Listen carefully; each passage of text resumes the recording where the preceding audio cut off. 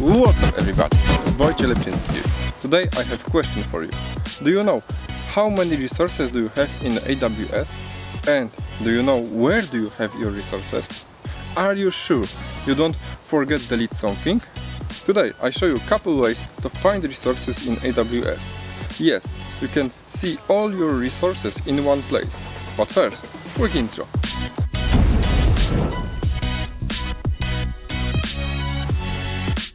I think that the best and easy way to find resources in AWS is to use AWS config.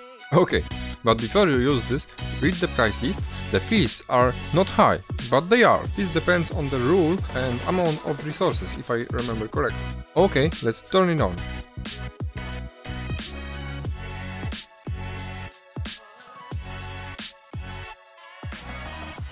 Using AWS config, just go to the resource tab and ta-da! I see my all resources from all my location in one place.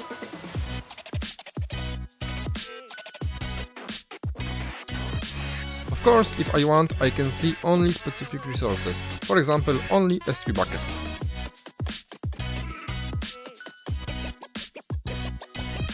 Another way to find resources in AWS is to use tag editor. Let's go to the tag editor. I always select all regions, because sometimes I create resources in strange places. Shows all supported resource types and search resources.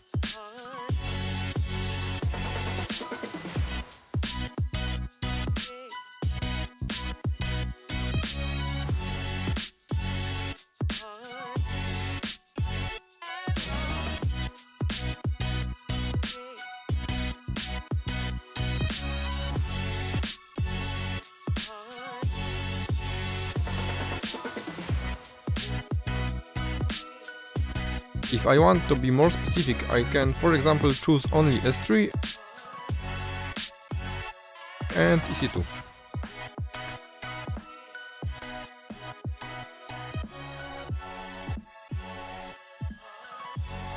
Now I can even go to specific resource in another tab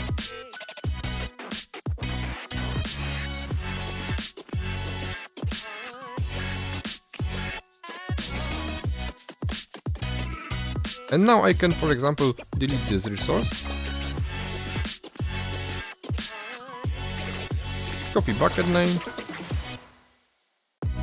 Paste. And delete. Wait, there is one more thing you should do. It's good, go to the Cost Explorer and see their resource consumption. Unfortunately, in my case, there is not much here, because it's one of my test accounts that I have recently created. But if you use your account longer, you should see a lot of interesting information. I advise you to get to know this tool well because it's worth knowing how you spend your money. Oh, of course, check my blog on Lepczynski IT. You will find there a lot of tutorials that will show you how to use the AWS Cloud and take you step by step to the next level. Thanks for watching. Today I show you Ow, what the... Something has bitten me.